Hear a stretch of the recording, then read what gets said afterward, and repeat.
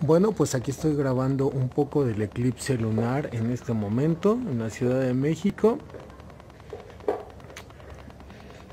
Lamentablemente lo estoy haciendo con mi celular y tampoco es muy efectivo. Pero pues se alcanza a apreciar un poco. No como se ve con la vista normal. Y por ahí se ve alguna que otra estrella.